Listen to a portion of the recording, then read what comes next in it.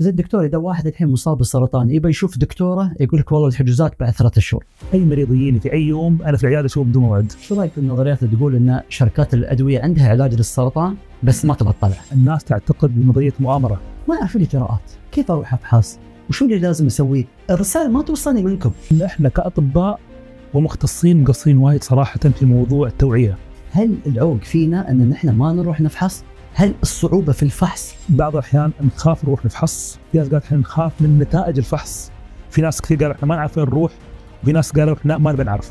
وأكثر جملة أسمعها في عيادتي دكتور كيف أنا في سرطان؟ مرحلة متقدمة وأنا ما عندي أعراض. هل مرض السرطان وراثي؟ السرطان للأسف لما يصيب إنسان ما يصيب شخص واحد. اثر على العائلة كلها. الخلايا السرطانية تدمن إدمانا كبيرا على الجلوكوز. إحنا ما نقول. هاي الاشاعات اللي تقول؟ 30 مركز في دولة الإمارات. ليش ما يكون في مركز وطني يحدد الكفاءات هذه؟ هذا سؤال جميل جدا وبخلي المسؤولين يقررون يعني شو الأنسب. أكثر إشاعة متعلقة بالسرطان تزعجك. أن اللي يصاب بالسرطان سوف يموت. دكتور هل الخسعة لتشخيص السرطان تؤدي إلى انتشاره هذا السؤال ما بسمعه. تعبت منه.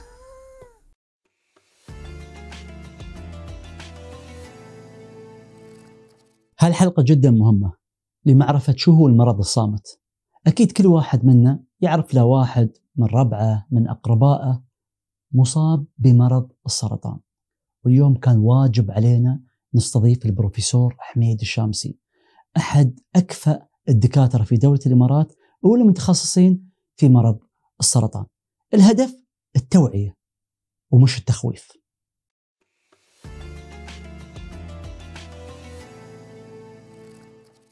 مرحبا الساعة دكتور يا مرحبتين. أنا فخور جدا وسعيد أنك أنت خصصت من وقتك آه للنقاش في بودكاست مع الشحيمي والله أنا اللي تشرف ونعتذر أن تاخرنا عليك وايد. لا بالعكس. إحنا نحاول من شهر شهر ونص لكن أكيد لظروف أعمالك لازدحام جدولك ولكن اليوم نحط نية صافية هدفي من هذه الاستضافة أن نجاوب على الأسئلة المتكررة اللي لاحظنا من خلال آه، تفاعلك جزاك الله خير في ال social media إن كثير من الناس تسأل واحيانا بسبب جدولك يمكن ما تلقى آه، الفرصة إنك ترد بإجابة شافية. نعم. اليوم هدفنا من هذا البودكاست أن نرد على الناس ويكون مرجع إن شاء الله إن شاء الله. أي أحد عنده تفا... استفسار عن السرطان والأمور هذه الخاصة بالسرطان يرجع الحلقة هاي وعلى فكرة يعني نحن نفتخر في دوله الإمارات إن عندنا بروفيسور جزاك الله خير آه نحب أصحاب التخصص. وانت كبروفيسور متخصص في آه الأورام السرطانية وعلاج السرطان هذا شيء يعطينا فخر كإعلام أن نطلع نماذج المشهد جزاك الله خير يا أخوي. جزاك الله خير. واليوم لفت انتباهي شيء. نعم. وأسعدني أنك ما نسيت التواصل في منصات التواصل الاجتماعي. نعم. نشيط آه، ترد على الناس آه، توضح تثقف توعي وهذا ما نلاحظه كثير في الوسط الطبي. هذا شيء كيف بديته؟ كيف أنت عرفت إنه لا هذا مهم في عمل؟ نعم. والله يا أخوي شو بقول لك شيء؟ أنا ما دخلت لهذا المجال أو أو الجانب الإعلامي أو ال social media لأي غرض خاص عشان حميد نعرف. آه لا. أنا لاحظت أن في قصور كبير جدا جدا في موضوع السرطان. وفهم ما هو السرطان وتقبل الناس للعلاج وتقبل الناس لأن مثلا يعني يتم الالتزام بفحوصات مبكره السرطان ونشوف أن هذه الإشكالية عائق أن الناس عندها عائق مش فاهمة شو السرطان هذا. وطبعا آه، عدم معرفة بال- بالشيء يؤدي إلى الخوف ويؤدي إلى أيضا تجاهل الإشكالية الكبرى وهي السرطان اللي هو يعتبر أحد الإشكاليات الكبرى على مستوى العالم العربي وأيضا الخليج يعتبر مسبب رئيس السرطان. فشفت أن إحنا كأطباء ومختصين مقصرين وايد صراحة في موضوع التوعية. والتوعية لها أوجه كبيرة جدا توعية بمنع السرطان من أساسه، التوعية بأعراض السرطان، التوعية بأهمية ال- العلاج، فدخلت لهذا المجال حتى أني أسد يعني يعني آه، ثغرة كبيرة كانت موجودة وما زالت موجودة. ولكن نحاول قدر الإمكان إحنا يعني نملأ هذا الفراغ عن طريق التواصل مع الناس، تجاوب الناس، الناس عندها أسئلة كثيرة جدا متكررة منها كثير يعني أسئلة متكررة نحاول نحلها ونحاول نعطيهم إجابات بإذن الله شافية. زين دكتور خلينا نبدأ من الأساس. نعم. شو يعني سرطان؟ نعم. هذا السؤال كنت أفكر فيه لما كنت أنا في الثانوية العامة. كان عندي اهتمام بالعلوم وهذا. ما كنت مستوعب شو سرطان. طبعا ذاك الوقت يعني تدري في بداية التسعينات ما كان في اطلاع أو أو أو إنترنت أو أو أشياء ممكن تحصل فيها معلومات بسهولة. فكنت دائما أستغرب شو هذا المرض اللي يخوف الناس وشو هذا المرض اللي ممكن يؤدي للوفاه طبعا ذاك الوقت كان مربوط بالوفاة طبعا نتكلم إحنا إن شاء الله بالتفصيل ولكن حاليا هذا غير صحيح ولكن ما هو هذا المرض اللي يؤدي للوفاه بعد سنوات طويلة من التخصص في هالمجال ممكن ألخص لك مرض السرطان في جمل بسيطة. جسم الإنسان يحتوي على مليارات الخلايا. الخلايا هاي يعني تنقسم بشكل يومي ملايين ملايين المرات. جسم الإنسان يقوم بالتحكم في هذه الخلايا أي خطأ في الانقسام يقوم بالتخلص من هذه الخلايا اللي صار فيها عطب. السرطان بكل اختصار هو عبارة عن خلايا تم فيها عطب والجسم فقد السيطرة عليها وقامت هذه الخلايا بالانتشار إلى أماكن أخرى في الجسم. مثلا خلايا في منطقة الثدي صار فيها عطب قامت تتكاثر.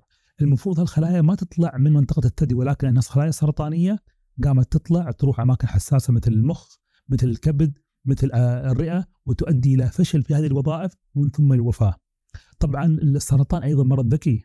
السرطان يوهم الجسم بأنه صديق يوهم جهاز المناعة بأنه صديق. فجهاز المناعة في الإنسان ما يقوم يعني بمحاربة الخلايا.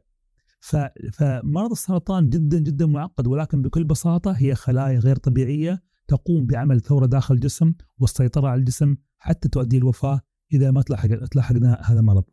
زين دكتور معقول على التطور الطبي هذا ما لقينا علاج فعال للسرطان؟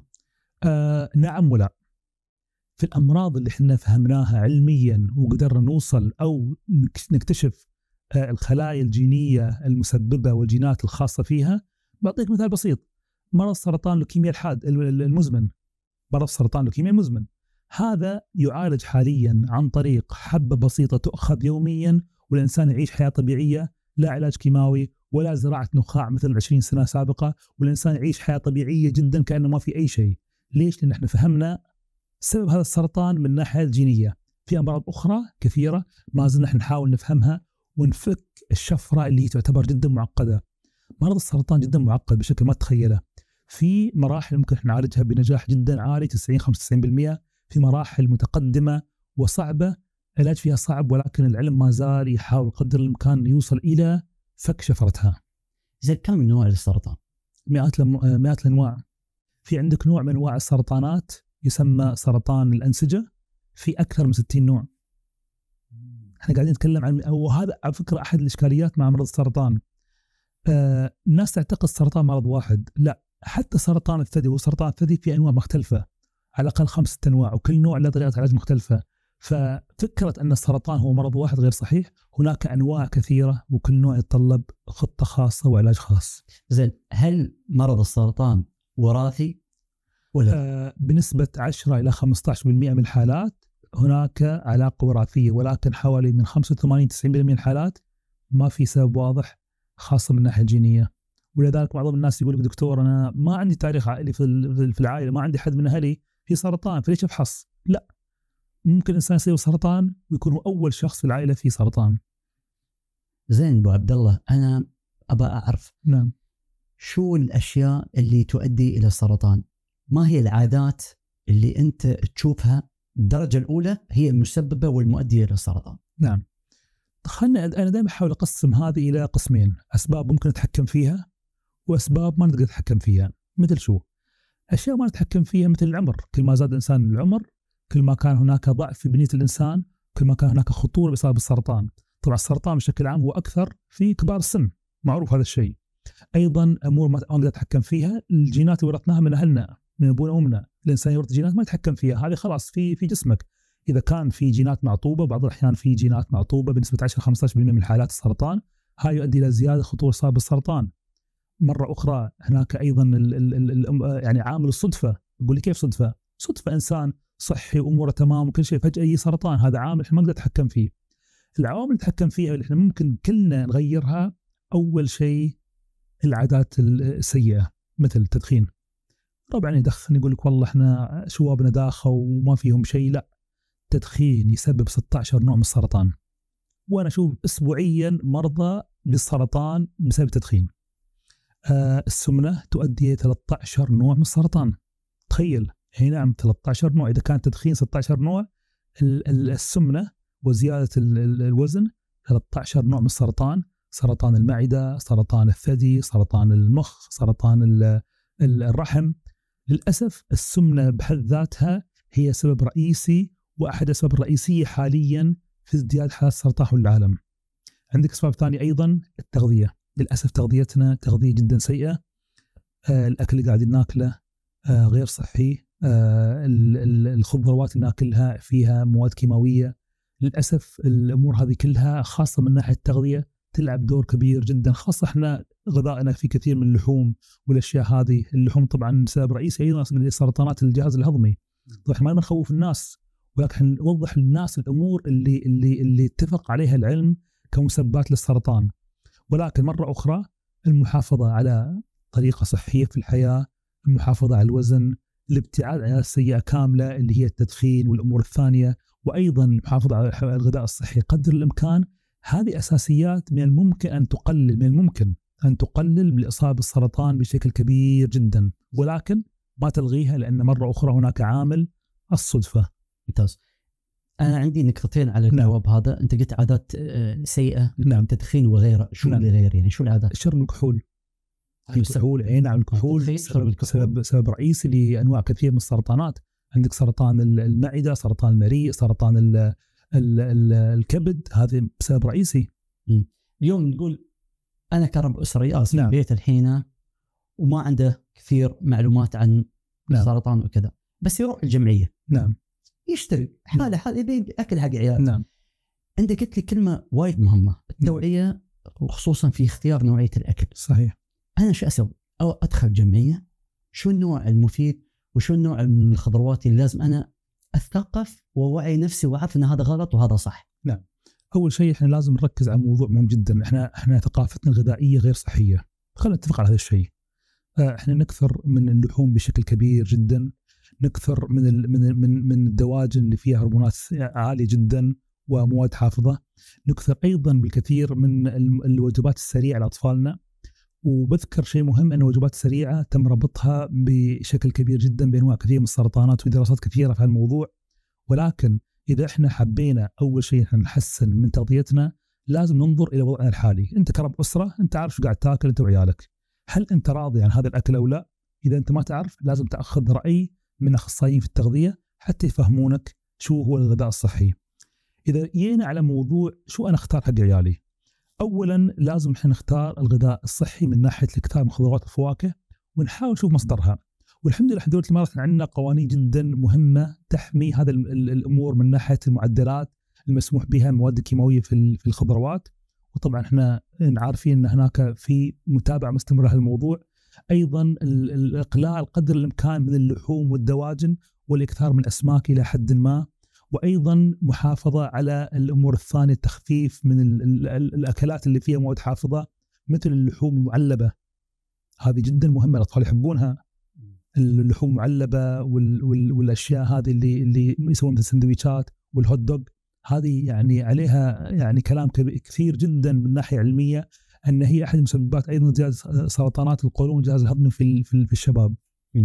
حتى بعد مرة أنا قريت معلومة كذلك اختيار الزيوت. نعم صحيح للطهي يعني. صحيح نعم. هاي بعد فيها أنواع معينة أكيد طبعا إحنا نفضل دائما يكون الدهون اللي هي أصلها نباتي أكثر من حيواني والحمد لله هاي متوفرة بشكل كبير جدا ولكن معظم الناس ما يعرف أن الاتجاه للأمور النباتية هي أفضل من الناحية الصحية على المدى البعيد.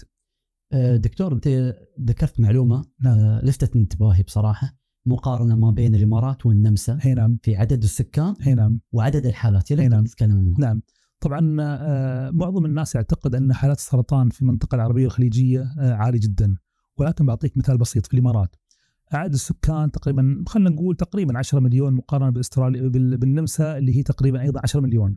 ولكن كم عدد الحالات في إستراليا في النمسا والإمارات؟ الإمارات فيها تقريبا 4200 حالة حسب ال ال وزارة الصحة وقاية المجتمع في 2019 حسب السجل الوطني. في النمسا حوالي 42 ألف حالة عشرة أضعاف الرقم. بتقول لي كيف كذي؟ لأن مرة أخرى الجينات تلعب دور كبير جدا. عندك أيضا العادات الغذائية عندك التدخين وعندك الاستخدام الكحول. هناك عالي جدا. فيما ذكرنا إحنا قبل الناس الناس دائما ما يعتقد إن التدخين والكحول له دور كبير لا له دور كبير جدا في الإصابة بالسرطان. في الاختلافات الجينية وأيضا الغذائية في اختلاف كبير ويؤدي إلى تغير كبير جدا في أعداد السرطان. ولكن لازم نذكر موضوع مهم. للأسف حالات السرطان في ازدياد حول العالم حتى منطقتنا الخليجيه والعربيه فإذا إحنا مش نفس أرقامهم ولكن للأسف إحنا حالاتنا قاعدة تزيد بسبب تغير نظام حياتنا الصحي. إحنا قبل أهلنا غذائهم بسيط حركتهم كثيرة. الحين حاليا شو؟ وضع مختلف عيالنا وجبات سريعة ما في حركة أوزان قاعدة تزيد.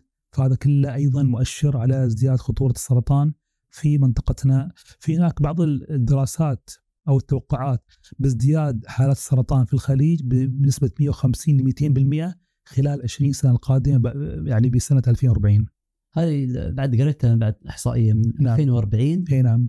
آه تقريبا على مستوى العالم أكثر من مليون حالة. فهل هالشيء آه بسبب التغير اللي صاير في الغذاء وفي الصحة والثقافة؟ أكيد طبعا. دور الطب الحين يوم تشوف الأعداد هذه في 2040 نعم. نعم. دور الطب لازم يكون موازي للتحدي هذا. إي نعم. هل أنت طبعا. تشوف أن الأدوار تتلا... يعني تتلائم مع العدد الكبير هذا؟ هل دور الطب ياس يجتهد في لا. لا إحنا للأسف في الطب قاعدين نركز على موضوع العلاج. ما نركز على موضوع منع الأسباب ومنع حدوث هذه الأمراض.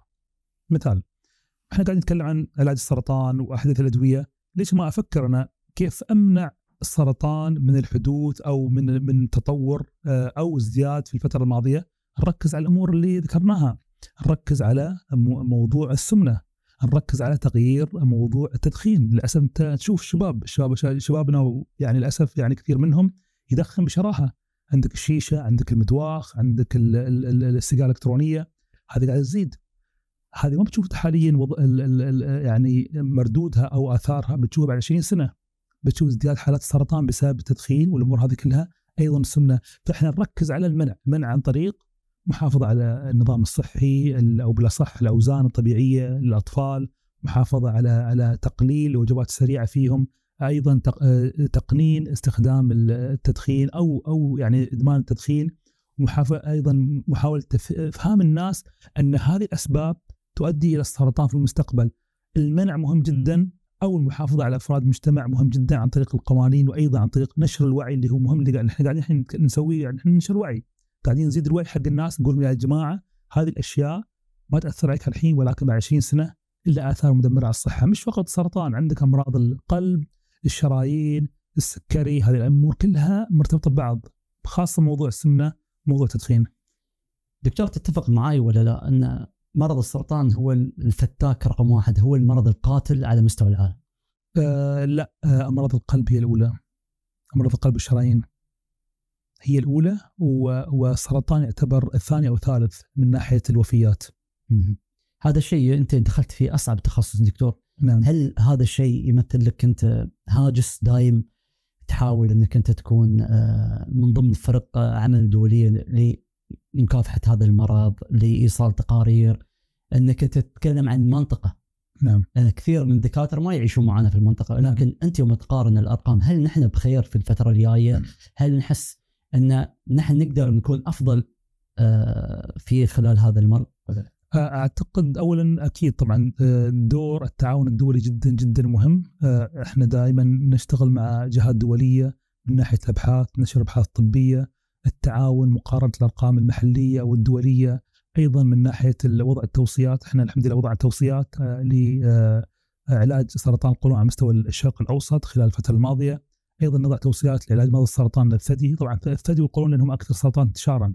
فدور الطبيب مش فقط انه يشوف مرضى ويعالج ولكن لازم يكون له دور قيادي من ناحية زيادة الوعي، التعاون الدولي، الأبحاث الطبية لأن في النهاية علاج السرطان جدا معقد ويتطلب يعني أمور كثيرة منها العلاج الطبي وأيضا الإداري حتى نوصل إلى أفضل طرق لعلاج مرضى السرطان.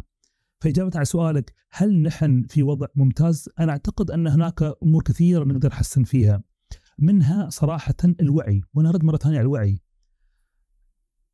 كل شيء متوفر في الدولة مستشفيات معدات أطباء خبرات ولكن وعي الناس هو أحد أكبر التحديات من ناحية تقبل فكرة أن هناك مرض لازم نخلي بالنا منه لازم نعرف أسبابه لازم نمنعه ومن ثم نلتزم بالفحوصات المبكره حتى نصل بإذن الله إلى تقليل خطر السرطان على جميع أفراد المجتمع. السرطان للأسف لما يصيب إنسان ما يصيب شخص واحد اثر العائلة كلها. كل العائلة تتأثر مثلا رب أسرة عنده أطفال صغار من يعيلهم إذا هو مرض إذا هو طاح إذا كان في المستشفى يأثر على نفسية العيال يأثر على مستواهم الدراسي هذه كلها عبارة عن يعني دائرة آه، مغلقة من ناحية التأثير السلبي للسرطان على أفراد العائلة وأيضا المجتمع. ترى من أصعب الأمور اللي تواجهك يوميا أنك تبلغ شخص انه نعم مصاب بمرض السرطان، كيف تتعامل؟ نعم مع هالظروف، كيف توصل الفكرة خاصة إنه يأثر على المحيط نعم. كامل. نعم طبعا هناك فرق إذا كان التشخيص ما زال في بدايته آه، أو كان في مراحل متقدمة. إذا في بدايته طبعا الأمور الحمد لله بسيطة ونحن نفهمهم إن الموضوع ترى عادي يعني موضوع السرطان في بدايته جدا بسيط، علاج جدا بسيط ونسب الشفاء جدا جدا عالية. الصعوبة تأتي لما يكون الإنسان يشخص بسرطان في مراحل متقدمة. وأكثر جملة أسمعها في عيادتي دكتور كيف أنا في سرطان مرحلة متقدمة وأنا ما عندي أي أعراض. هذه جملة أسمعها بشكل أسبوعي. وللأسف معظم الناس ما يعرف أن السرطان مرض صامت. السرطان مرض صامت للأسف ممكن يكون جسم الإنسان لسنوات طويلة بدون ما يعرف. أنا أعرف أطباء متخصصين في السرطان اصيبوا بالسرطان في مراحل متقدمة وما عرفوا أن فيهم سرطان. هذه توضح لك مدى إشكالية مرض السرطان ممكن يخدعك. يخدعك بشكل ما تخيله. أنت عايش حياتك طبيعية وأنت للأسف فيك سرطان وقاعد ينمو في جسمك لسنوات طويلة ومن ثم تتفاجأ ان عندك أنت مرحلة متقدمة غير قابلة للشفاء بشكل كبير. فصعوبة إيصال آه، جملة أن عندك سرطان في مراحل متقدمة فيها صعوبة ولكن إحنا دائما نقول حق الناس إحنا نبدأ علاج نتوكل على رب العالمين ونحاول بقدر الإمكان نعطيك أفضل علاج وأفضل خطة علاجية ومن ثم نستمر في العلاج لأن العلم قاعد يتطور كل يوم والامور قاعدة الحمد لله في أدوية جديدة تطلع كل يوم ممكن يكون في علاج يعني إن شاء الله يعني فعال خلال أشهر والسنوات القادمة. زين بس ما تحس إن دكتور في شيء يعني مش منطقي، هل العوق فينا إن نحن ما نروح نفحص؟ هل الصعوبة في الفحص؟ أنا كواحد من المجتمع ما أعرف الإجراءات. نعم. كيف أروح أفحص؟ وشو اللي لازم أسويه؟ الرسائل ما توصلني منكم. نعم فاهم وكلامك صحيح على فكرة في قصور إحنا منا من ناحية هذا الموضوع. لذلك دائما أتكلم وأنا عندي طبعا كل كم أسبوع أنزل نفس الفيديو اللي هو ما هو الفحص المبكر للسرطان وكيف أقوم بفحص مبكر السرطان لأن كلامك صحيح. أنا أتكلم كمختص. أعتقد أنك أنت عارف أعتقد. ولكن في الواقع أنت مش عارف. أنت تسمع الكلمة هذه مش عارف شو قصدي ما تعرف وين تروح ما تعرف شو الإجراءات. إحنا سوينا بحث نشرناه قبل يومين آه، أكبر عملية استفتاء آه، في مجتمع دول الإمارات عن مرض السرطان. وارتئينا إن معظم الناس ما عنده خلفيه عن الموضوع وحاب يعرف في رغبة في رغبة موجودة. يعني حوالي أعتقد 80% من اللي اللي أكثر من 2000 شخص جاوبوا على الاستبيان هذا كان عندهم الرغبه يبغون يعرفون معلومات يعرفون الطريقة فإحنا ما زلنا مقصرين هالموضوع وأنا أوافق الرأي إن لازم نبذل جهد أكبر لتوعية أفراد المجتمع عن السرطان وكيفيه الفحص وكيفية الوقاية.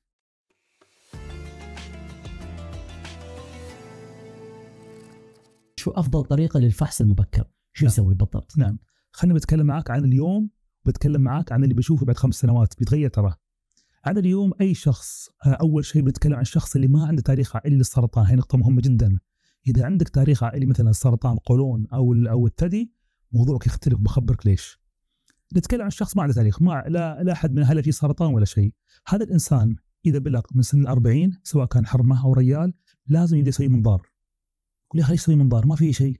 طبعا دائما تجي الأصدقاء دكتور يعني إحنا تبغوا تلعوزونا مستشفيات وروحة ومراجعات.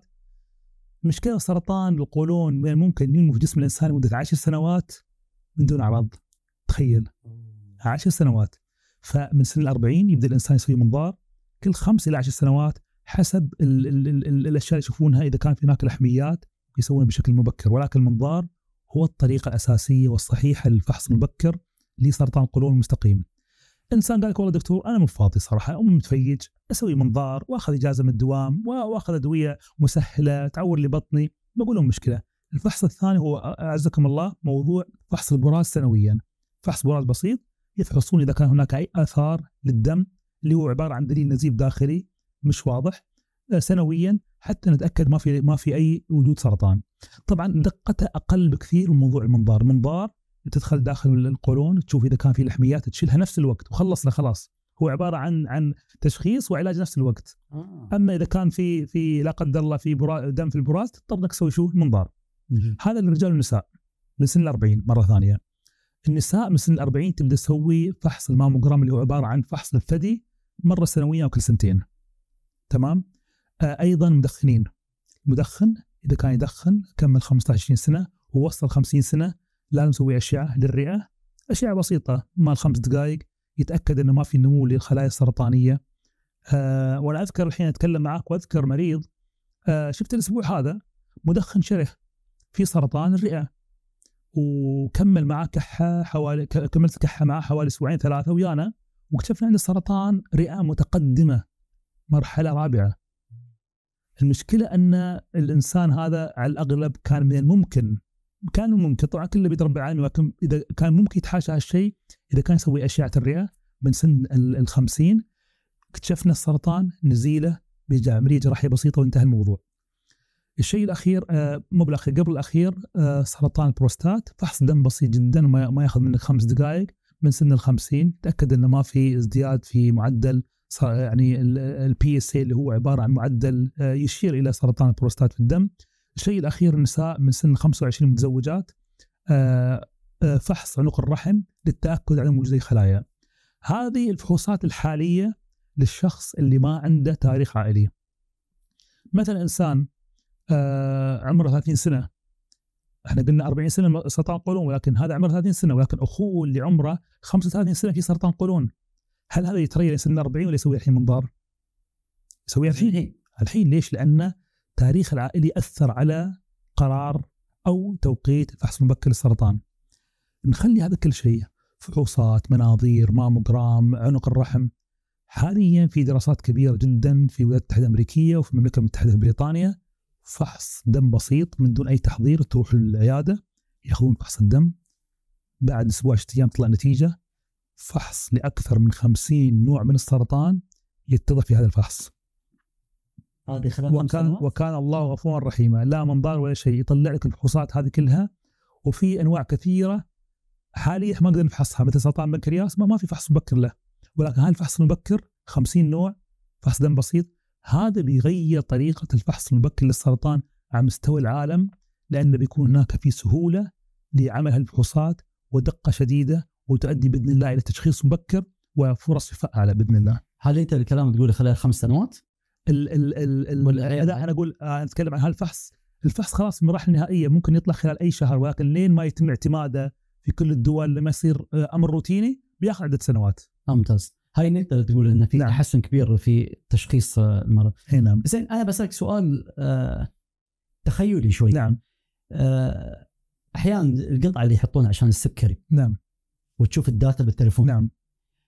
يقول ليش ما اخترعوا شيء بسيط نعم. لكشف عن كل ما يتغير في جسمك سواء أورام حميدة خبيثة أي شيء غير طبيعي في الخلايا يبين في ال data ليش ما في مثل هالاختراع هذا الفحص نفس الطريقة فحص دم بسيط يتم تحليل ال DNA فيه ونشوف إذا كان في هناك خلايا سرطانية أو خلايا ما قبل السرطانية فهذا هو اللي قاعد نتكلم عنه بالضبط امم بس أنا أتكلم عن قطعة إنها تكون في الجسم هذا يمكن 2050 إن شاء الله آه يعني الحين سابقين لا بيني وبينك موضوع ال ال ال هذا موضوع الدم ترى شيء يعتبر ثوري ثوري جدا وبيغير مرة أخرى طريقة تشخيص وعلاج مرض السرطان خلال السنوات القادمة بإذن الله. زين شو رأيك في النظريات اللي تقول إن شركات الأدوية عندها علاج للسرطان بس ما تبطله؟ أنا أقدر آه، أنفي لك هذا الشيء بعدة نقاط. أول شيء خليني اعطيك مثال بسيط. في هناك علاج لضمور العضلات يتم بيع هذا العلاج بحوالي 8 ملايين آه، درهم تقريبا أو يعني مبلغ مليون ونص دولار. والناس تدفع وتشتريه ليش؟ لأن هذا عبارة عن علاج مهم جدا لضمور على العضلات في الأطفال. الشركة قاعدة تجني مبالغ خيالية. تخيل وهذا مرض جدا نادر. تخيل شركة عندها حل لمرض السرطان وحطت سعر 10 ملايين دولار. هل الناس تدفع ما تدفع الناس؟ تدفع وال وال وال والشركات والحكومات تدفع ليش لأنه ما في حل ثاني الشركة اللي. اللي تطلع اللي تقدر تطلع علاج السرطان ستصبح أكبر شركة في العالم من ناحية الأرباح وما في حد عنده السر هذا بيخليه مقفل عنده لأنه بيكون عنده طريقة لربح مليارات المليارات في في في غضون أشهر بسيطة. الشيء الثاني هناك أطباء مختصون أو مختصين في مجال أبحاث السرطان ويعملون بشكل منفصل جدا عن جميع شركات الأدوية في جامعات على مستوى العالم وما يأخذون أي فلوس من أي شركات أدوية لأنهم يعملون بشكل يعني آه، خاص بعيدا عن تأثير شركات الأدوية. فهذه الناس ليه شو عندهم مصلحة أن ما يطلعون علاج السرطان إذا كان هناك علاج سرطان ليش؟ لأنه ما يوجد. مرة أخرى الناس تعتقد بنظرية مؤامرة. نظريه المؤامره دائما هناك نظرية دائما هناك مجموعة تقوم بعمل بعض الأمور لمصلحتها. ولكن أقول لك لأن مرض السرطان جدا معقد بيكون هناك علاجات إن شاء الله لبعض الأنواع ولكن بعد يعني المجال جدا قدامنا طويل للوصول إلى العلاج الشافي بإذن الله للسرطان في المراحل المتقدمة، مراحل مبكرة نسب الشفاء. لمعظم السرطانات جدا جدا عالية، دائما أتكلم عن السرطان مراحل متقدمة اللي هو في إشكالية في العلاج. شو تفسر؟ ارتفاع أسعار الأدوية الخاصة بالسرطان نعم. خلال آخر 15 سنة إلى 5000% نعم. خلال هالفترة. نعم. كيف تفسر؟ نعم. آه طبعا خلينا نقول أول شيء آه مش دفاع عن شركات الأدوية ولكن هذا الواقع. شركات الأدوية تقوم باستثمارات كبيرة جدا في ال ال الأدوية. بعطيك مثال. من كل 100 دواء يتم بداية تقييمه كم دواء تتوقع يصل إلى المستهلك كمعتمد وفي فائده؟ واحدة واثنين فقط. تخيل. فكمية الاستثمارات التي تقوم بها الشركات الادويه كبيرة جدا. وخلينا نكون أيضا عادلين من ناحية أن في أدوية كثيرة ما تم يعني اعتمادها إلا بعد استثمارات كبيرة جدا من قبل هذه الشركات. في النهاية business خلينا نكون واقعيين لأنهم يسوون business وهم يبغون يعني يدفعون فلوس في النهاية يحصلون return on investment يكون عليهم يعني مرجو مدخول من ناحية هذا الأشياء اللي صرفوها.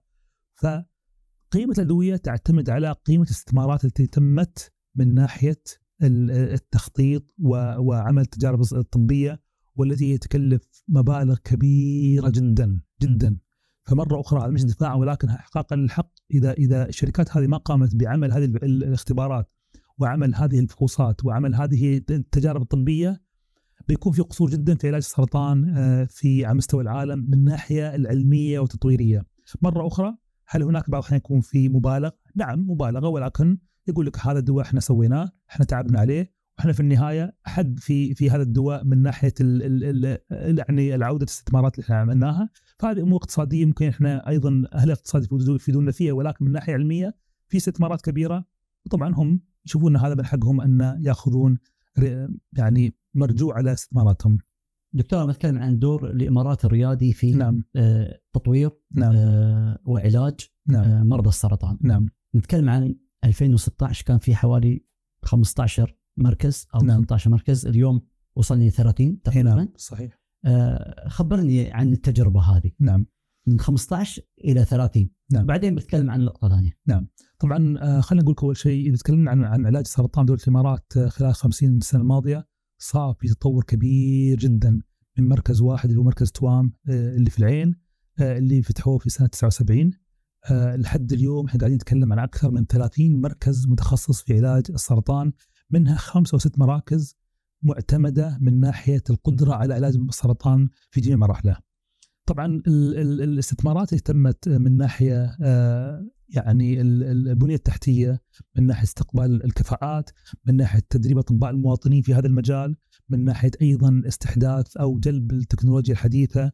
من ناحية تسهيل آه، آه، يعني استخدام الأدوية أو تسجيل الأدوية الحديثة. هذه الأمور كلها أدت إلى ثورة كبيرة جدا الحمد لله في آه، قدرة المريض في دولة الإمارات أنه يتعالج بأفضل الطرق والبروتوكولات المعتمدة عالميا في دولة الإمارات. فاستثمارات كبيرة جدا من ناحية البنية التحتية وأيضا من ناحية التكنولوجيا. وصراحة واضحة جدا أنا كشخص متخصص في هذا المجال عملت في أحد أكبر مراكز السرطان في في الولايات المتحدة الأمريكية في هيوستن وأنا أقول لك أن في أمور كثيرة جدا مشتركة حتى بروتوكولات هي نفسها ولكن في النهاية قناعة الناس ما زالت مثل قبل يعني ما تلوم الناس ان الناس مروا في تجربة يعني ستينات سبعينات ما كان في هناك خدمات طبية ولكن حاليا الحمد لله معظم الأشياء إذا مو كلها متوفره الحمد لله هنا. بس الحين لو بتكلم عن 30 مركز في دولة نعم. الإمارات ليش ما يكون في مركز وطني يحدد الكفاءات هذه؟ نعم أنا اعرفه انه ما في للحين مركز وطني نعم. موحد لرصد كفاءات كل مركز على. نعم هذا سؤال جميل جدا وأنا بخلي المسؤولين يقررون يعني شو الأنسب لأن ب- ولكن أنا اوافقك الرأي تماما في حاجة لتقييم المراكز آه، من ناحية آه، تقييم مستواها وأيضا مخارجها. آه، عندك أنت في بعض الأحيان تصدر يعني تقييمات المدارس كل مدرسة مستواها فإحنا أيضا يعني نشوف أن هذا الشيء يكون جدا ممتاز حتى أيضا يعني يعطي بعض الثقة للمرضى في تحديد المكان المناسب للعلاج. آه بيكون ممتاز يعني إذا كان في مثلا. خمس نجوم أربع نجوم أكيد نعم طبعا أكيد إنه- هذا هذا يسهل على المريض من ناحية اتخاذ قرارات العلاجية. زين دكتور أنا آه بتكلم عن الحين الحالات نعم شو أصعب آه يعني حسب الإحصائيات اللي نشوفها نعم. نعم. أكثر شيء آه سرطان الثدي هي نعم عقب القولون لا ثاني شيء في الإمارات الغده الدرقية آه ثاني شيء إي نعم. آه طبعا هاي منطقة الث- والثالث القولون ثلاث قولون نعم. الحين أكثر شيء الحالات للرجال؟ نعم. لا النساء. بعدين النساء؟ النساء. عكس النساء الثدي أول شيء. أوكي. هي نعم. أنا سمعت أن الثدي كذلك للرجال بعد. انه في الثدي 1% 1% فقط. زين كلمنا عن ليش نلقى أن سرطان الثدي أكثر انتشارا؟ ليش؟ نعم. أول شيء سرطان الثدي أكثر انتشارا حول العالم. مم. كان في لي- لين قبل سنتين كان سرطان الرئة. هو الأول ولكن قبل سنتين أصبح سرطان الثدي من ناحية الأرقام هو الأول على مستوى العالم. وأيضا هو الأول على مستوى الخليج. إذا إحنا نظرنا على مستوى الخليج من ناحية الدول الخليجية هو الأول. دوله الإمارات ما زال هو أيضا رقم واحد. طبعا ليش هو سبب ليش هو أكثر سرطان انتشارا يعني أسباب كثيرة ولكن مرة أخرى آه، لأن ارقام تشير إلى هذا الشيء. ولكن أيضا مرة أخرى نحن نقول أن الثدي منطقة حساسة جدا ممكن تؤدي إلى تغيرات كثيرة قسامات كثيرة فهذا أيضا يؤدي إلى زيادة خطورة الاصابه بسرطان الثدي. ولكن الشيء إحنا نلاحظه في منطقتنا الخليجية والعربية إحنا ذكرناه سابقا وجود أعداد أكبر في ال- الشابات مصابات بسرطان الثدي سن ال 20 وال 30 وال 40 وهذا طبعا يختلف عن اللي إحنا نشوفه في أوروبا وفي أمريكا. في أمريكا معظم سرطان الثدي في سن ال 50 و 60 ولكن هناك اختلافات كثيرة. لحد الحين إحنا مش فاهمينها وإحنا نشرنا بعض الأبحاث سابقا في من المنطقة العربية. نحاول نفهم سبب الاختلافات هذه وخاصة وجود سرطانات أكثر في الثدي في النساء في المنطقة العربية. دكتور اليوم نشوف حالات كثيرة في السرطان. الأول كان يداهم الكبار. نعم. اليوم للأسف نشوف الشباب أكثر عرضة كذلك للسرطان. نعم. كلامك صحيح. وللأسف هذا على مستوى العالم في دراسات حاليا تقول تحاول تفهم شو اللي صاير. ليش الشباب حاليا قاعدين يصابون بالسرطان بشكل أكبر؟ طبعا هذا لازم إحنا نعرف إن الشاب خاصة إن الشاب هو في مقتبل العمر في سن العشرين والثلاثين في سن الزواج في سن تأسيس الأسرة في سن العمل. هذا ياثر على المنظومة ال ال ال يعني الاجتماعية بشكل كبير جدا وأيضا ياثر على يعني قدرة العائلة أو أو يعني المجموعة على الاستمرارية في في في في النمو أو في الحياة. عندك رب أسرة مسؤول عن عائلة عن أطفال صغار. مصاب بالسرطان شو شو بيكون وضع العائلة؟ جدا سيء لأنه يعالج من السرطان خاصة إذا كان مراحل متقدمة يأثر على نفسيتهم، يأثر على نفسية الأطفال في المدارس، لا آثار سلبية كثيرة جدا. بتقول شو الأسباب؟ صراحة العلم ما زال عاجز عشان يفهم شو اللي صاير، شو اللي متغير، ولكن هناك بعض النظريات. نظريات منها أول شيء ال- ال- التغير في الأمور اللي ذكرناها من ناحية التغذية، من ناحية ازدياد السمنة وهي على فكرة أسباب رئيسية جدا جدا مهمة. مثل ما قلنا السمنة في الأطفال تؤدي إلى سمنة في الشباب. وفترة السمنة هذه 20 30 سنة هي تؤدي إلى زيادة خطورة الإصابة بالسرطانات. ولكن هناك أيضا بعض النظريات إلى الاستهلاك المفرط للمضادات الحيوية في فترة الحمل نعم وفي فترة الفترات الأولى من حياة الإنسان عمر السنة وسنتين وثلاث هذا يؤدي إلى تغير في البيئة الداخلية في جسم الإنسان ويؤدي إلى ازدياد خطورة الاصابه ببعض السرطانات خاصة سرطان المستقيم والقولون والمعدة. طبعا للأسف الدراسات ما زالت عاجزة لتحديد سبب واضح ولكن هذه يعني النظريات كلها موجودة بسبب وجود بعض الدلائل العلمية على هذا الموضوع.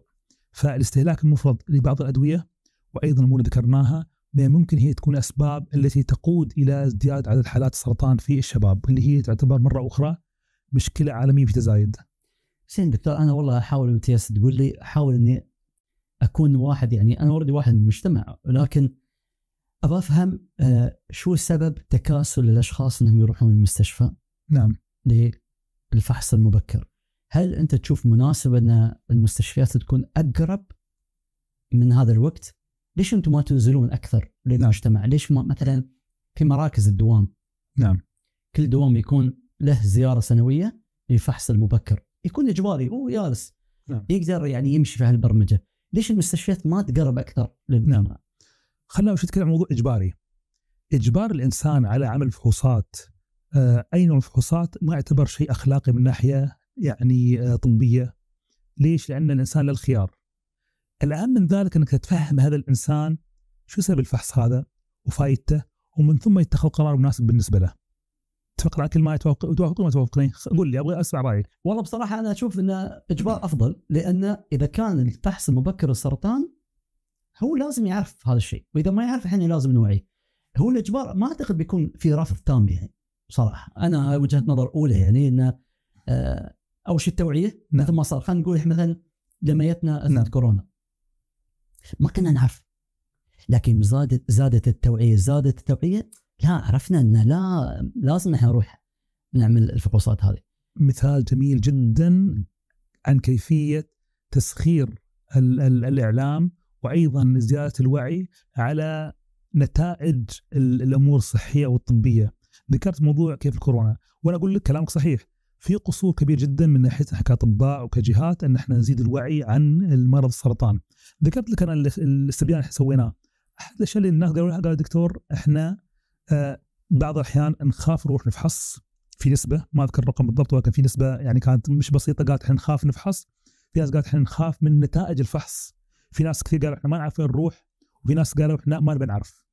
أيوه. ففي في في فمرة أخرى نرجع لنقطة إحنا فهمنا الاسباب نحاول نحلها نحلها عن طريق زيادة الوعي. مرة أخرى الإنسان عدو ما يجهل. إذا إحنا ما زدنا الوعي وفهمنا الناس شو سبب إحنا ليش إحنا بنسوي فحص مبكر؟ ليش إحنا نحاول إحنا نشخص الامراض بمراحل مبكرة إذا وصلنا إلى نقطة إن إحنا نفهم الناس بشكل جيد أنا متأكد إنه بيكون تقبل فحص مبكر للسرطان جدا جدا جدا عالي زين أنا يعني ياسا أحاول أجتهد في نعم. كأني أنا معاك في الاستبيان زين لما تقول يلا فحص مبكر ترى أول شيء بيدور في بالي إذا شو أسوي؟ وين أروح؟ كلام صحيح وين أروح؟ وهذا أحد النقاط اللي كان الاجابات ما نعرف وين نروح إذا وين نروح دكتور؟ آه يعتمد أنت وين في في الدولة.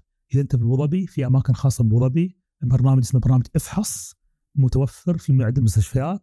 ادخل تكتب في جوجل إفحص أبو ظبي يطلع لك كل مكان. آه عندك في الامارات الشمالية برنامج اطمئنان وزارة الصحة في برنامج كامل. آه في عيادات تعزيز الأسرة. تروح هناك تفحص فحوصات كاملة. تقول أنا فحص فحص نعم. مبكر؟ فحص مبكر للسرطان. حلو. آه، في دبي عندك أيضا في عيادات طب الأسرة موجودة بشكل واضح وكامل. بس أنت روح واطلب فحوصات مبكر للسرطان بيسوي لك إياها. طبعا آه، سواء سرطان الثدي إي نعم. طبعا يعني نتكلم عن السرطانات اللي هي متعارف عليها سرطان الثدي القولون المستقيم سرطان البروستات سرطان الرئة ومن ثم سرطان عنق الرحم الحين في نوعين فحص المعدة. نعم. منظار المعدة؟ لا منظار ولا بس منظار القولون؟ منظار القولون. المع... مش منظار. لا المعدة حاليا ما في توصيات عليها بخصوص الفحص المبكر ولكن في اليابان يسوونها. ليش؟ حالات سرطان المعدة في اليابان جدا عالية. إي نعم. مع إنه يقولون والله أكلهم آه، يعني أكثر صحة وكذا. عندهم ازدياد حالات كثيرة سرطان المعدة. عندهم الكحول عالي. امم تذكر هذا الشيء. إيه. هذا ياثر صح أكيد طبعا زين أنا بعد ما أدري إذا تتفق ولا لا أه الدوام نعم أو الجهات جهات العمل المختلفة نعم. هل أنت تفضل هل أنت مع وجود فحص سنوي أن الأطباء أو الأشخاص المعنيين يروحون الجهات الحكومية ويلفون على الجهات الحكومية ويؤدون إلى هذه التوعية أو فحوصات؟ اوافق الرأي وأنا كنت عرضت على احد الجهات مرة من المرات هذا الموضوع قلت يا جماعة نحن نبغي نسوي هذه التوعية لموظفيكم ومن ثم نعطيهم الخيارات اللي حاب يسوي فحص وأنا اعتقد أن هذا بيكون جدا جدا مهم. مش إلزام مرة أخرى لاني أنا ضد الفحوصات الإلزامية ولكن أعتقد بالتوعيه عن طريق جهات العمل ونخليها جزء من التقييم السنوي اللي حاب يسويه يسويه ولكن خليه أيضا ك يعني تعطيه مثلا يوم إجازة يومين إجازة خليه يصير فحوصات ويرجع. فأنا بالعكس أنا أؤيد هذا الشيء بشكل كبير جدا وأنا اعتقد إنه بيكون له تأثير إيجابي على تقبل الناس بفحوصات مبكره للسرطان.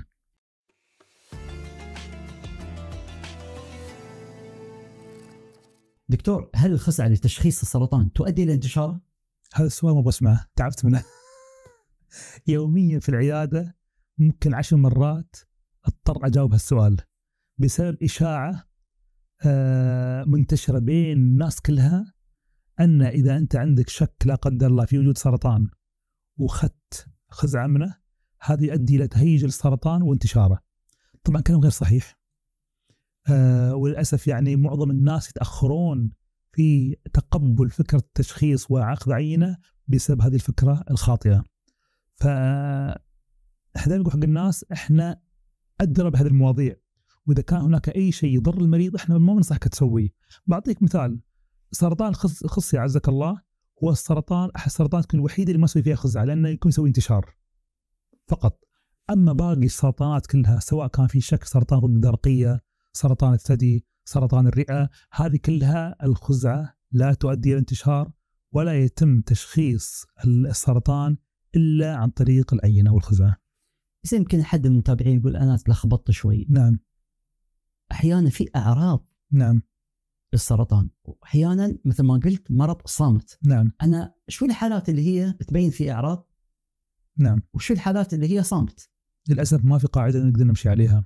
للأسف. وهذا أحد إشكالية السرطان إنه ممكن يكون لا قدر الله مثل ما ذكرنا قبل شوي سرطان في جسمك سنوات طويلة وأنت ما عندك أعراض.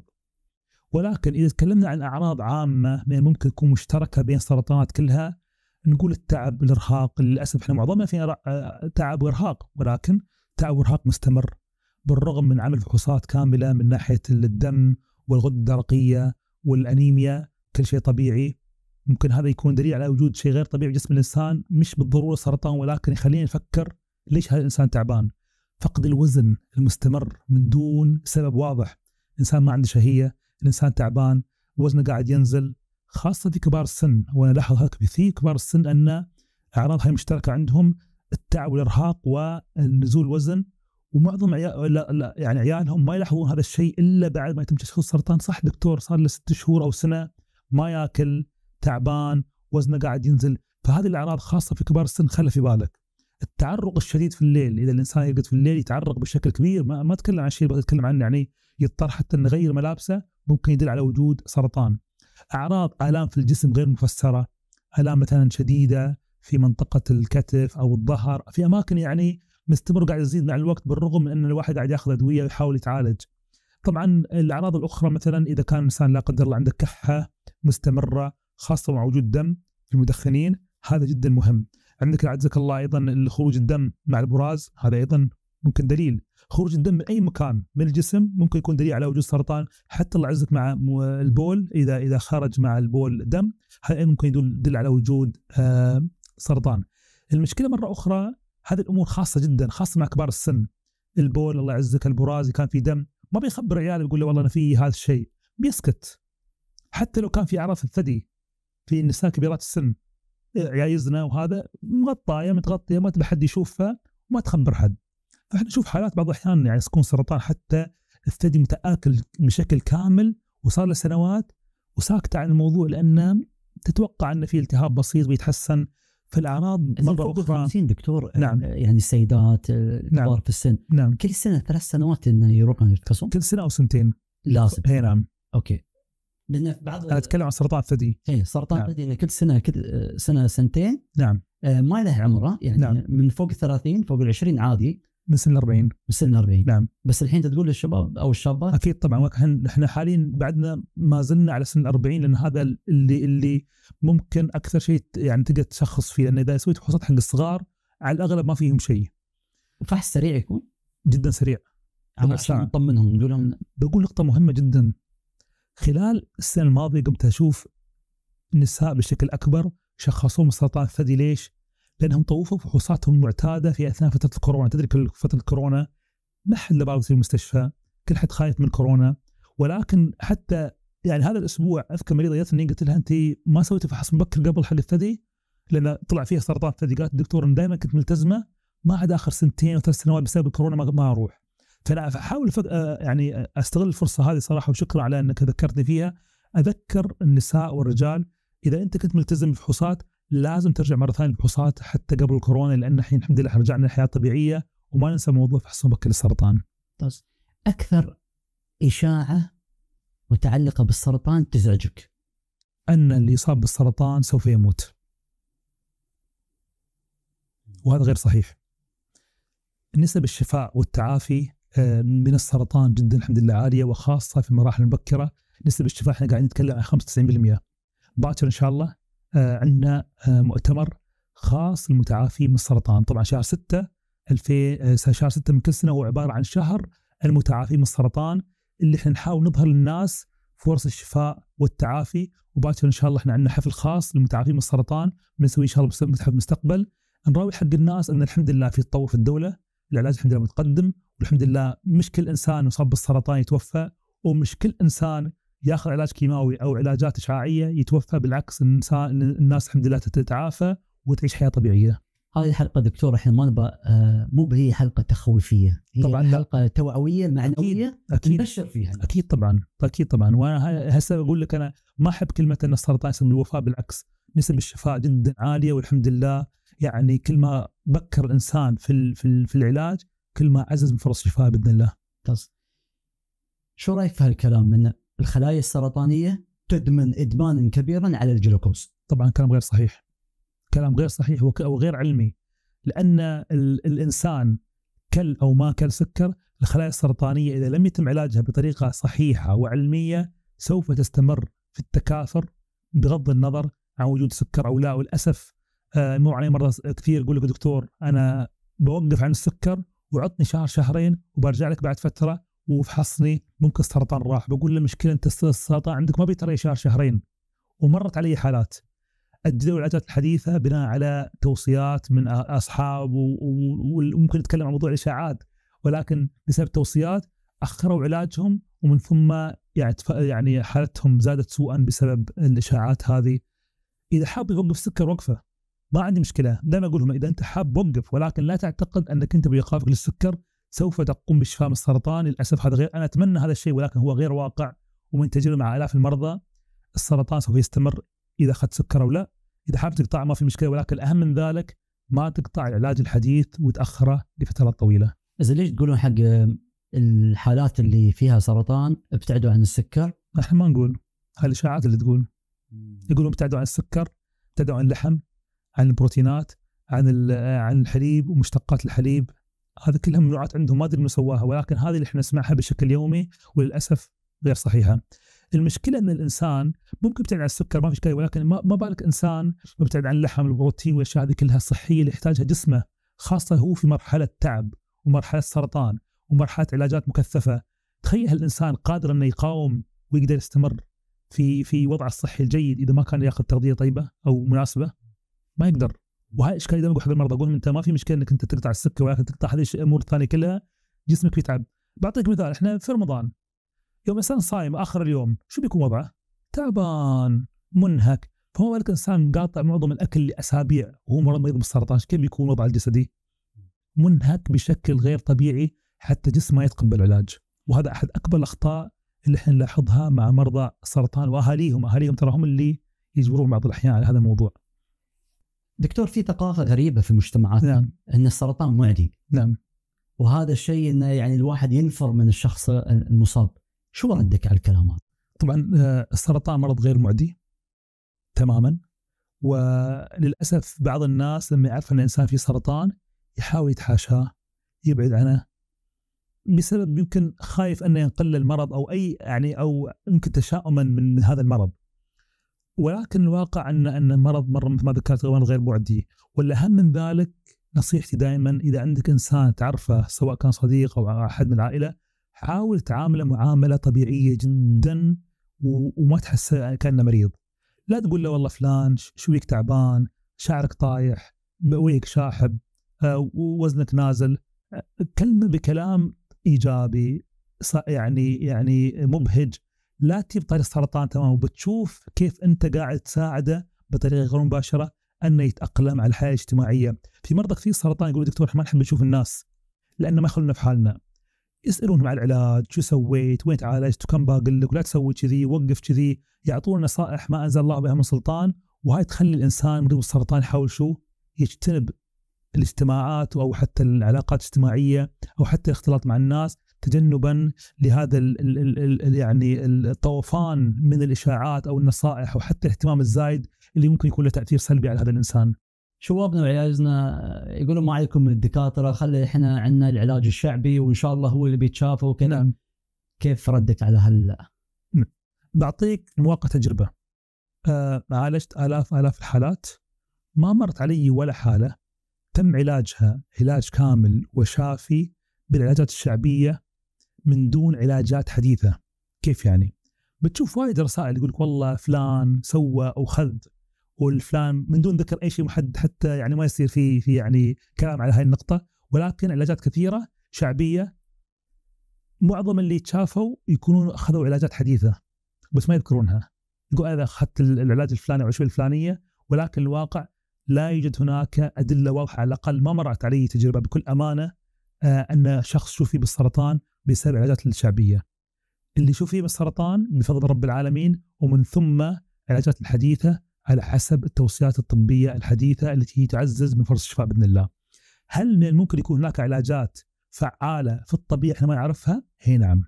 أنا أؤمن بهذا الشيء ولكن ما أعتقد إحنا عندنا العلم الكافي إحنا نحدد ما هو العلاج الصحيح حاليا لهذه الأمراض وإذا إحنا حابين هذا الشيء لازم يكون عن طريق علاج آه، يعني دراسات آه، علمية محكمة صحيحة حتى نصل إلى الدواء الشافي. ما أنزل الله من داء إلا وانزل له دواء. علمه من علمه وجهله من جهله. فهناك دواء للسرطان ولكن إحنا حاليا ما زلنا عاجزين عن اكتشافه. دكتور نحن كمسلمين آه، يعني دائما نتبع عندنا عندنا يقين. نعم. عندنا رضا بقضاء يعني خيره وشره. عندنا هاي الراحة والطمأنينة. نعم. آه، أهمية العلاج النفسي إن الواحد يكون مثقف في هالجانب يعزز هالجانب. نعم. تساهم بشكل فعال في مرضى السرطان من خبرتي مع مرضى السرطان الشخص المتقبل بالقضاء والقدر خيره وشره واللي يتقبل جميع ال ال ال العلاجات من ناحية سواء كان في نجاح العلاج أو فشل العلاج هذه الأكثر ناس هم سهولة في التعامل معهم وسبحان الله تكون أمورهم بشكل أكبر ميسرة ومسهلة. في قسم قليل من الناس اللي هو دائما مو منه أي شيء. مهما تسوي له من ناحية علاج من ناحية هذا سبحان الله تحصل إن أمورهم قاعد تعقد من ناحية مضاعفات من ناحية آثار جانبية من ناحية فشل العلاج فأنا أعتقد وأؤمن بأن الحالة النفسية وتقبل الإنسان للمرض ومن ثم تقبل لجميع الأمور تأتي مع المرض من تعب من إرهاق من آثار جانبية لها تأثير من ناحية فرص الشفاء بإذن الله. هالشيء شيء بذكر آه، الصيام وتاثيره نعم. على حالات الشفاء. يعني الرسول صلى الله عليه وسلم آه، من سنته كل اثنين وخميس يصوم. نعم. أنا أتكلم عن الصيام الأسبوعي. نعم. سواء يوم ولا يومين. نعم. هل مناسب؟ هل تنصح؟ لمرضى السرطان بشكل عام. بشكل عام. بشكل عام. على صحة الجسد. بعطيك جملة أو معلومة أنت ذكرتها بس الحين بعطيك إياها بطريقة أخرى. هل تعلم أن أحد الاقل معدلات السرطان في العالم هي في منطقة العالم العربي والإسلامي؟ وتم ربطها إلى حد ما بسبب الصيام وخاصة في شهر رمضان. طبعا هذه كلها عبارة عن ما تقول يعني يعني آه نظريات ليش المنطقة العربية والإسلامية فيها معدلات السرطان أقل؟ طبعا في أمور أخرى مثل أقل من ناحية استهلاك الكحول ولكن أيضا موضوع الصيام له تأثير إيجابي على صحة الجسد سواء كان موضوع السرطان أو لا ولكن إحنا ندري أن أن أن الرسول ما بيأمرنا بشيء أو يوصينا بشيء إلا إذا كان في مصلحتنا فالصيام بالعكس آه، شيء صحي له تأثير إيجابي مش فقط على موضوع السرطان ولكن على وظائف الجسد بشكل عام على موضوع الالتهابات المزمنة في جسم الإنسان على موضوع السمنة، على موضوع أيضا آه، الكوليسترول الأمور الصحية الأخرى لها علاقة أيضا بالأمراض المزمنة مثل القلب والشرايين.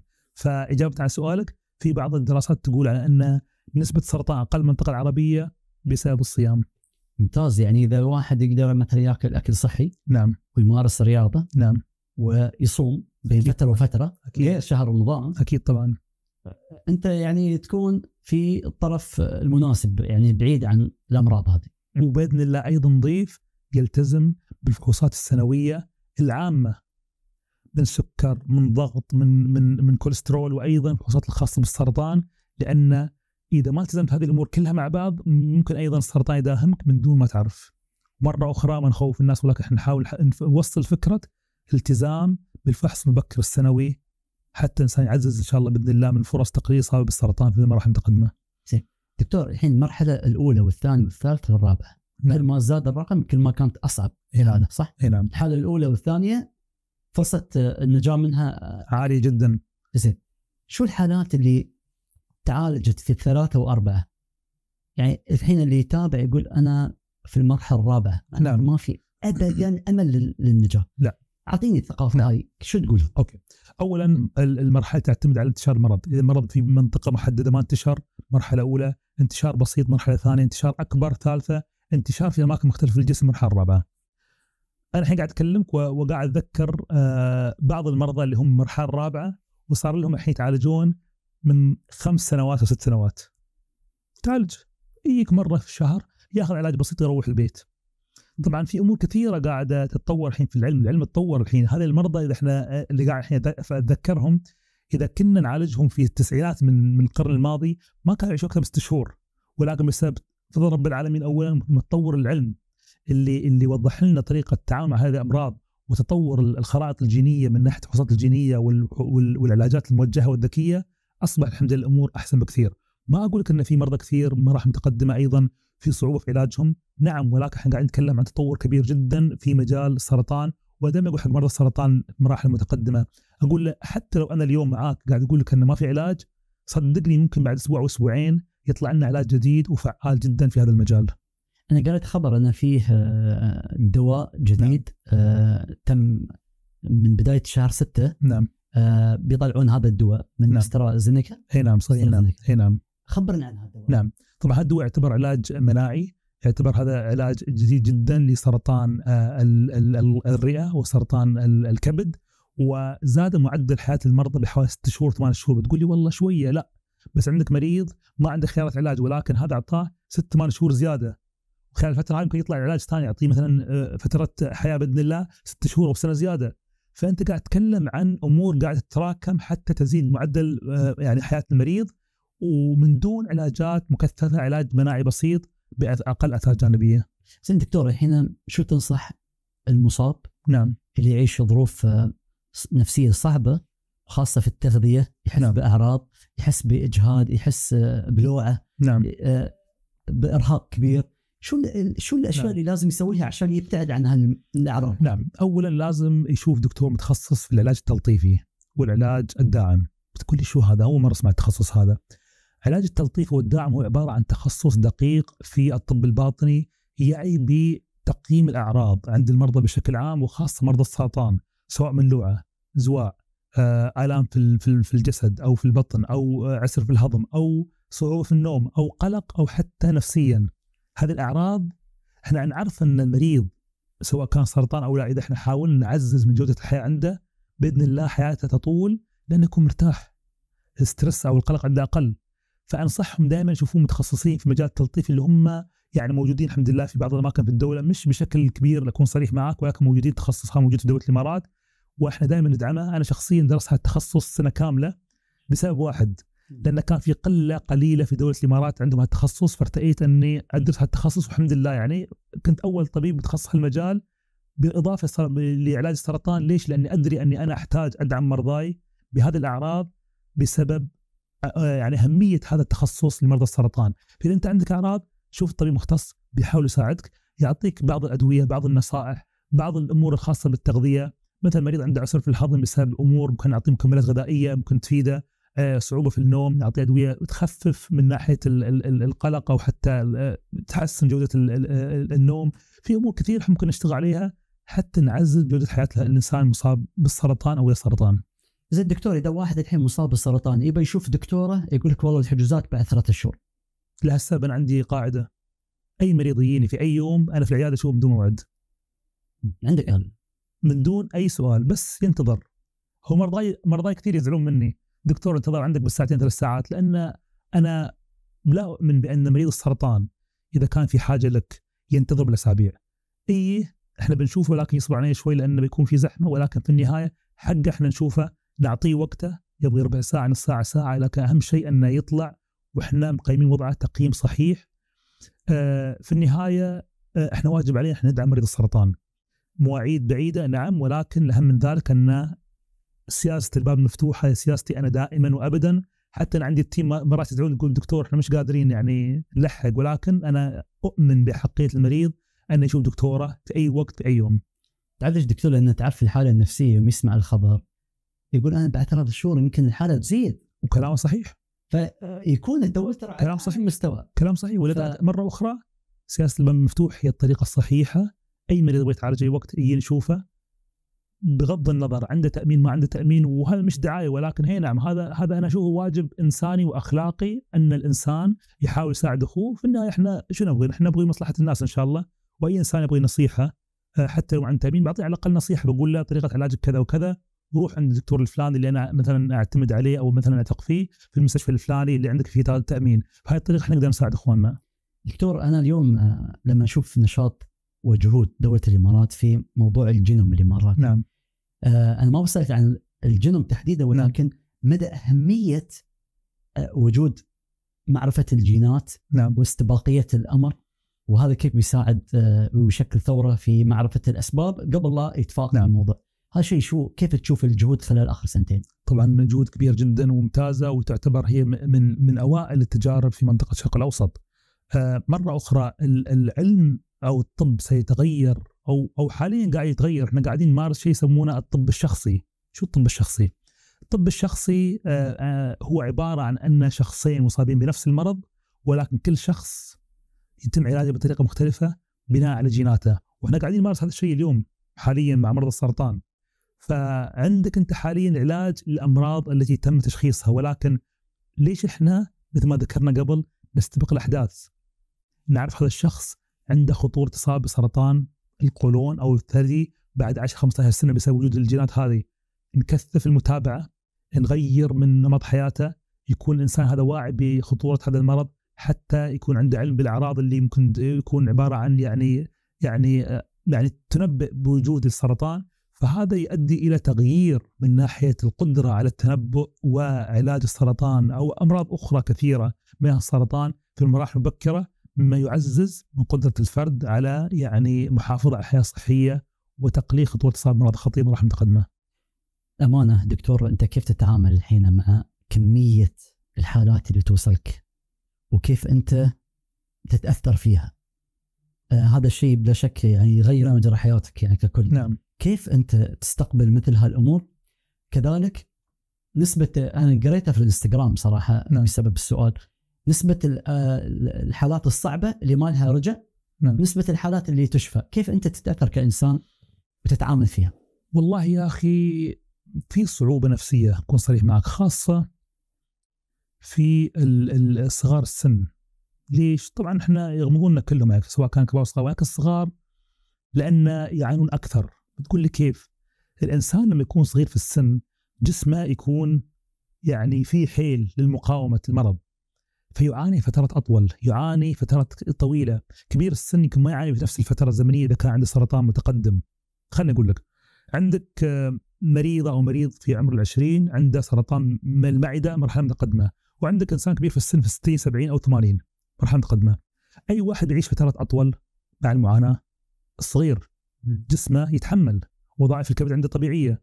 عنده الجسم يعني في في قدرة على المواصله كبير السن ما يتحمل فترات طويلة ولكن صغير السن يتعذب فترة أطول إذا لم يتم العناية فيه بطريقة صحيحة من الأعراض ومن ال ال ال الآثار الجانبية من المرض.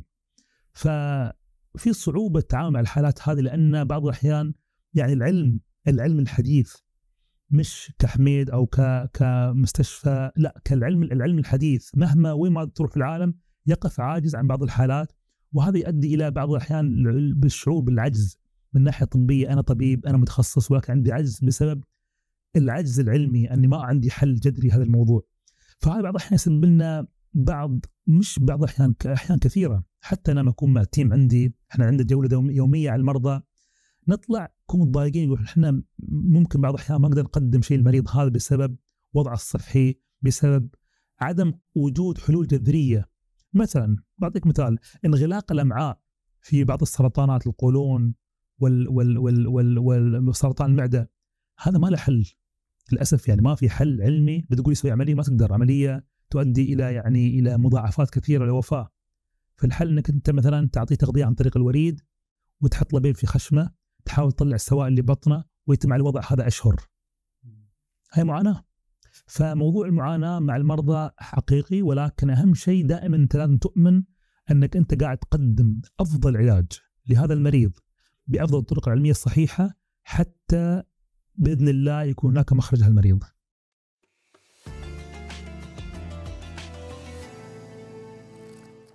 دكتور شو الحل الجذري للسرطان؟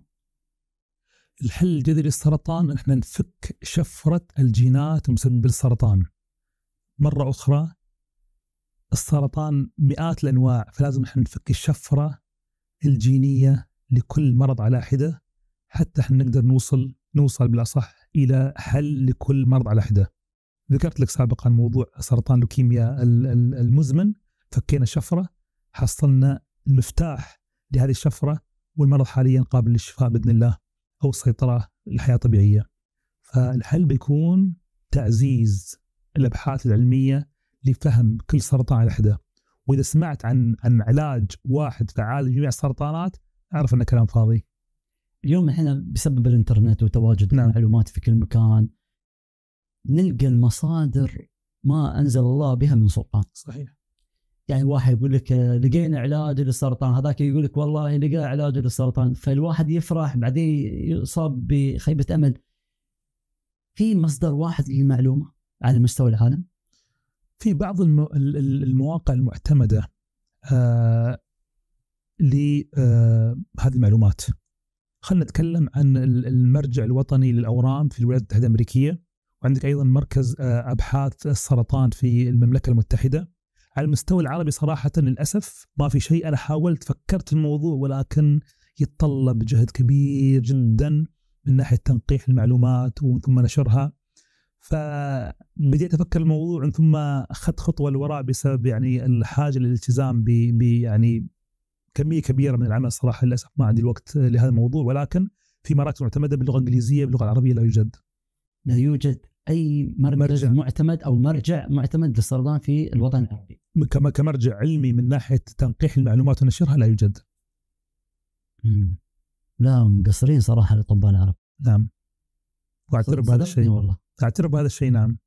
يعني في مرجع طبي بالإنجليزية. اللغة الإنجليزية في الولايات المتحدة الأمريكية وأيضا في بريطانيا نعم موجود نعم. وينقح ويقوم بالرد على الشائعات وتحليلها ووضع الآلية كيف أن هذه أو بالأصح كيف هذه الشائعة بدأت وما هو يعني تحليلها وأيضا نصائح للمرضى في النهاية ما هي النصيحة بخصوص هذا الموضوع. دكتور إحنا آه، قبل الحلقة أنت وضعت آه، يعني بوست وجزاك الله خير. حسب طلبك. حبيبي ليش؟ لأن نريد أكبر عدد ممكن أكيد من الاسئله ونبغى نساعد الناس نعم. آه ونسأل الله يعني الشفاء العاجل لكل المرضى و... ويحفظنا جميعا. آمين يا رب. دكتور الأشخاص المصابين بمرض القولون التقرحي نعم. أو الكرونز نعم. هل هم معرضين أكثر للسرطان؟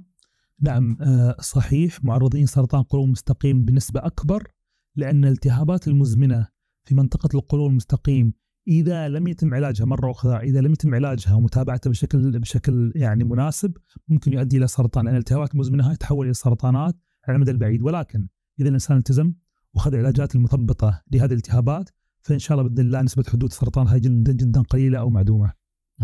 في سؤال أنت جاوبته بس لازم أقول بعد آه، هل السكريات لها دور في المرض؟ كثير نسمع إن السرطان يتغذى على السكريات.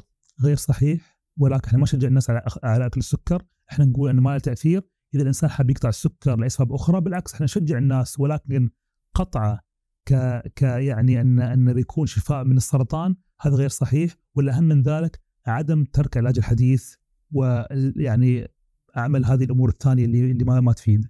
أوكي. السؤال الآخر آه بخصوص النساء اللي لديهم انقطاع طمث مبكر خاصة في العشرينات أو الثلاثينات من العمر معرضات للسرطان وكم نسبة ذلك؟ آه نعم ممكن يكون معرضات لسرطان آه الثدي بشكل أكبر ما في نسبة محددة ولكن نسبة بسيطة ممكن يعني 2 3% ولكن مش نسبة عالية تؤدي إلى القلق بإذن الله. ممتاز.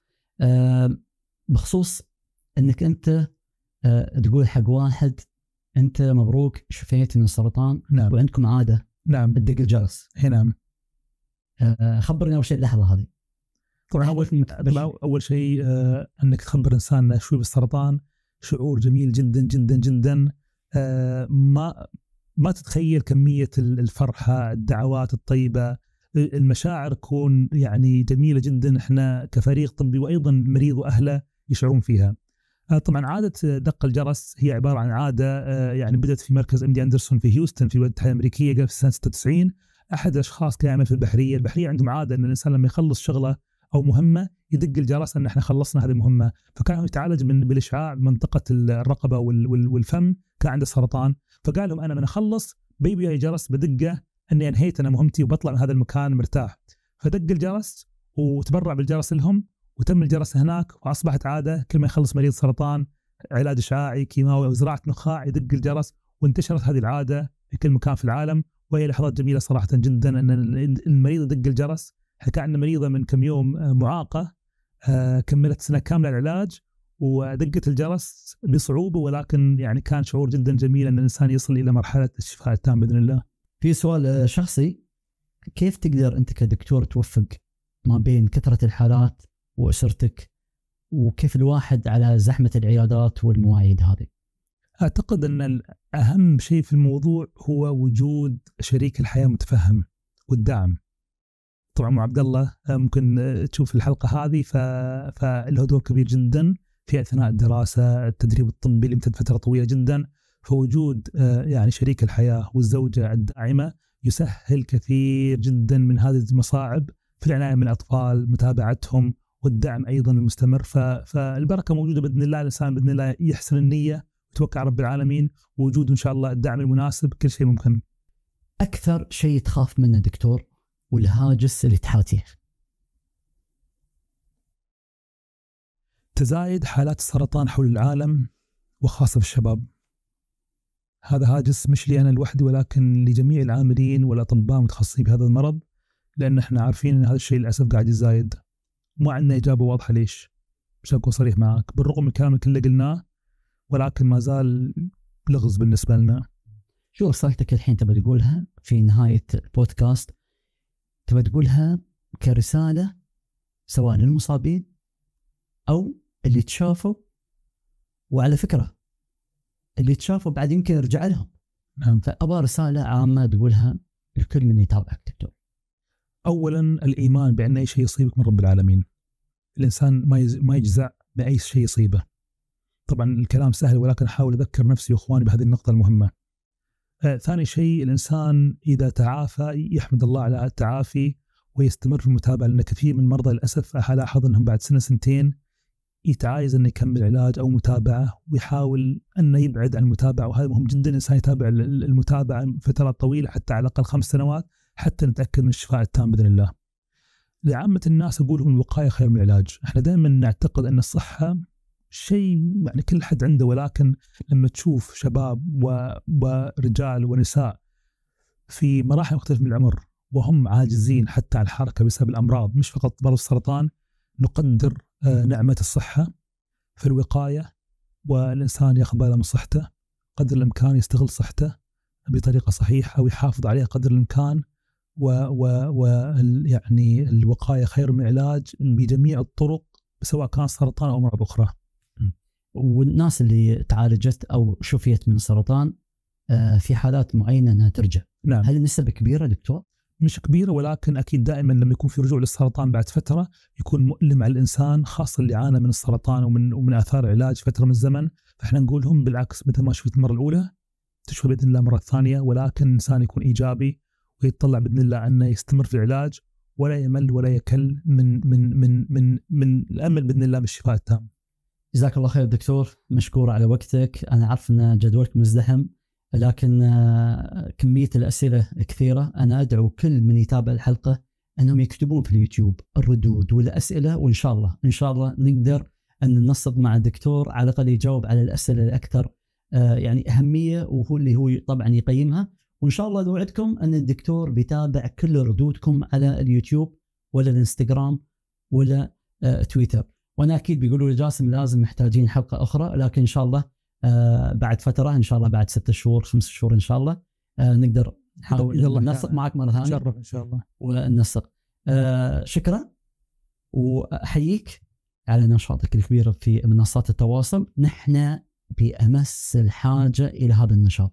نسأل الله أنه يتقبل عملك آمين يا رب إن شاء الله. لأن نشاطك خارج العيادة ترى هي ثقافة وإن ال- الهدف الأكبر ترى هي التوعية. إن شاء الله بإذن الله. ان واللي أنت تسويه ترى هو الطريق الصح. شاء الله بإذن الله. اتمنى لك التوفيق وان شاء الله تكون. أنت ما تهون عن فكرة إنك تكون أحد المراجع المعتمدة في الوطن العربي لكل الأبحاث عن آه، السرطان إن شاء الله بإذن الله ومشكورين على الدعوة وإن شاء الله ما كنت تجلنا عليكم. ولا خوفناكم موضوع السرطان بالعكس السرطان إذا إذا إحنا تابعناه وعرفنا أسبابه وأعراضه بإذن الله مرض بسيط. ونتمنى الصحة والسلامة للجميع والسلام عليكم ورحمة الله وبركاته.